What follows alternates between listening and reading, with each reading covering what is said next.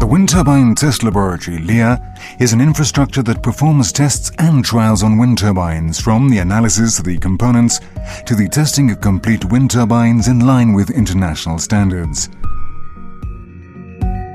Furthermore, it supplements the research work of the National Center for Renewable Energies in the field of wind power.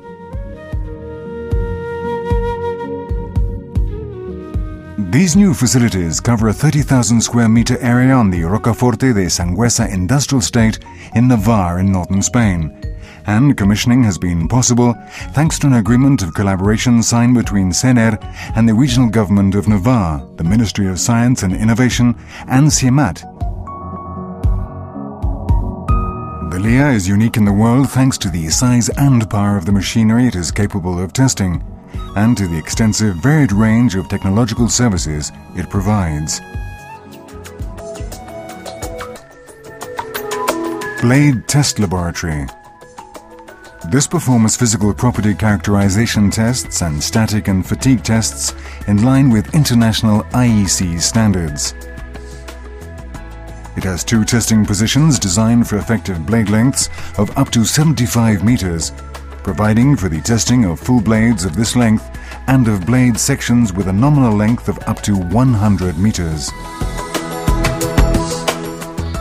Powertrain Test Laboratory Designed to test the powertrain and optionally its electrical equipment on wind turbines of up to 5 megawatts.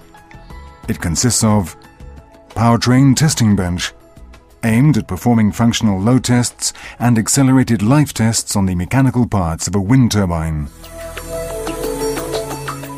Generator Testing Bench performing functional and accelerated life tests on generators and electronic power equipment that make up wind turbines. Nacelle Testing Bench performs functional tests on the complete nacelle with the possibility of including the simulation of electric transients and voltage dips. Nacelle Assembly Bench for the training of wind turbine assembly and maintenance staff. Composite Material and Process Laboratory. This simulates and optimizes the manufacturing processes of composite materials, characterizing process control variables and the physical and mechanical properties of the materials. On-site wind turbine tests. This performs power curve, acoustic noise, power quality, and mechanical load tests in line with IEC standards. Experimental Wind Farm Located in the Sierra de Alaiz, it has six calibrated positions with a capacity for wind turbines of up to 5 megawatts each. It is equipped for testing prototypes and their subsequent certification. The group of facilities forming the LEA was created to provide decisive support for the technological progress of the wind power industry, whose input is essential in an energy generation structure with sustainable development.